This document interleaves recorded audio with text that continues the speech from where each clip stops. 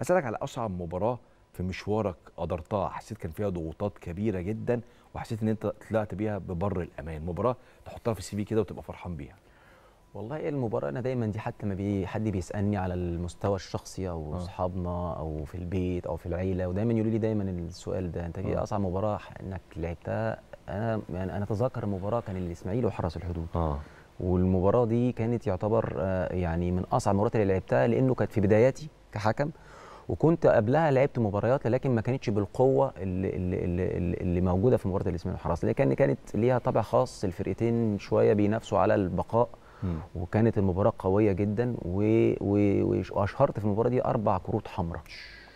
وكان رقم كبير جدا ما حصلش يمكن من سنين طويلة أو ما حدش يسمع إنه حكم مطلع أربع كروت حمراء. وكنت طبعا. لسه حكم صغير ومش لسه يعني لسه بقول يعني هادي في التحكيم فريق جماهيري كبير هو الإسماعيلي وفريق له سمعة طيبة جدا وحرس حرس حدود. وقتها. كمان كان حرس حدود من الفرق اللي كانت المفروض عاملة سمعة طيبة قبل الموسم ده كان دي, هو دي حقيقه وفي. لعيبة كتير جدا منها ما شاء الله دلوقتي إذا كانوا في الأهلي أو في الزمالك. فكانت فعلا زي ما أنت قلت فرقة مغمورة وفيها لعيبة كتيرة كويسة. ف... فالمباراة دي كانت مباراة صعبه جدا بالنسبة لي لأنه أنا حتى بعد المباراة توقعت إن أنا ممكن أبعد شوية عن.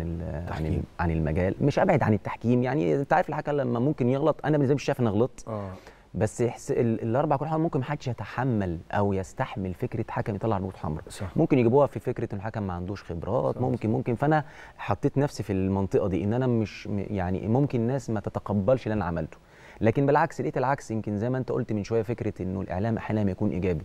بالعكس أنا بعد ما روحت ورجعت لقيت كمية اشادات في الإعلام بطريقة مش طبيعية. وكانت نقطة تحول بالنسبة لي أنا في التحكيم. إن أنا خدت مباراة قوية بأحداثها دي خلتني بعد ما كنت نفسيا قلقان إن ما, ما يعني أبعد شوية يعني ممكن يتم إيقافي أو غيره. بالعكس يعني لعبت فرقت معاك بعدها في مشوارك كله. وفرقت معايا في مشواري كله. آه طبعا. طيب إيه المباراة اللي بعد ما روحت حسيت لا أنا ما عملتش مباراة كبيرة النهارده. أنا كان عندي أخطاء النهارده. زي ما كنا بنتكلم كده في في الفاصل اللي هو في لعيبة ما بيبقاش يومهم وفي مدرب ما بيبقاش يومه. المباراة اللي حسيتها دي ما كانتش يومي النهارده. والله بص أنا يعني أنا أنا مش يعني أنا مش أنا مش هتذكر مباراة معينة ولكن آه يعني بالتحديد صعب إن أعرف لأن أنا يعني أنا لعبت مباريات كتيرة في الدوري المصري بس لكن أنا من طبيعتي الشخصية إن أنا أحيانا لما بطلع من المباراة ببقى طالع وأنا عارف أنا عارف من جوايا أنا ممكن ممكن أكون غلطت في إيه. يعني اللي هو آه، لوام معلوم نفسي قبل آه، ما, ما, ما أنا حاسس إن أنا ح... ممكن أكون مش عارف القرار فيه صح ولا غلط على آه، فكرة. لسه. لحد ما أروح أو أسمع من المحللين. بدأت تشك. أشك. آه. فلحد ما أروح وأطمن أو أسمع من زمايلي إن هم شافوا اللعبة أو من من محللين أو غيره.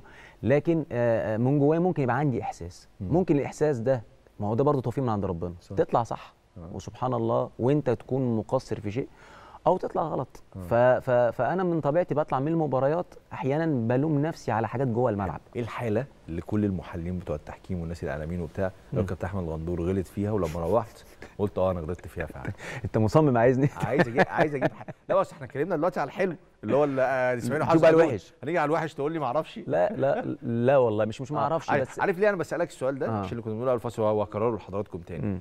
إنه اللعيبة بتغلط المدربين بيغلطوا الإدارات بتغلط الجماهير بتغلط فالحكم طبيعي يغلط برضه يعني صح. اللي هو اللي هو مش ممنوع إنه الحكم يغلط مش مش طبيعي يعني أصلا أي شخص في العالم بيشتغل أي شغل ما يكونش بيغلط صح فانا يعني أنا أقول كمان أنا غلطت في اللقطة ديت واعترفت إن أنا غلطت أو أنا شفتها إن أنا غلط بعدم توفيق مش بقلة طبعا. ده توفيق من عند طبعا. أحيانا أحيانا الحكم يتواجد في المكان ويتواجد في المنطقة مم. ويجي لعيب يروح معدي صح يغطي صح. بس يقطع عليك الرؤية اللي- فهمته ثانية. والحكم بياخد قرار في فهمته ثانية قطع عليك ده اسمه توفيق من عند ربنا طبعا. على فكرة ويبقى. الحكم متواجد فهي الناس برضه مش زي ما انت قلت من شوية الناس متقبلة أخطاء كل عناصر اللعبة آه. إلا الحكم مظبوط لأن هم شايفين إن الحكم ما ينفعش إنه يغلط مم. وللأسف ده مش حقيقي مم. هو يمكن اتكلمنا في في الفاصل القانون كرة القدم بني على.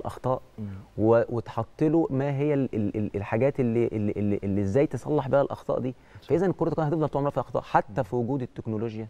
في وجود التكنولوجيا على مستوى العالم فيها أخطاء. صح. فعمر الأخطاء ما هتنتهي. صح. وهتفضل هي المتعة افتكرت الحلقة الحلقة أنا لحد دلوقتي بحاول أفكر فيها صراحة بس م- مش يعني ممكن بعد ال- ال- الحلقة أقولها لك. هكون افتكرتها. أكون افتكرتها. أيوه عشان نسيب الكلام صح. عشان هي دلوقتي في دماغي بس هو مش آه، بس مش. عارف أقولها. أيوه.